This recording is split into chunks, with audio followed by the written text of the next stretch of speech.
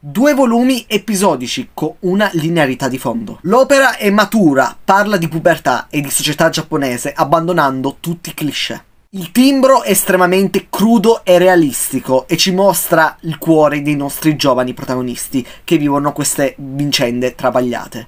La sequenzialità è ben pensata. Le scene atmosferiche hanno anche di estremo impatto.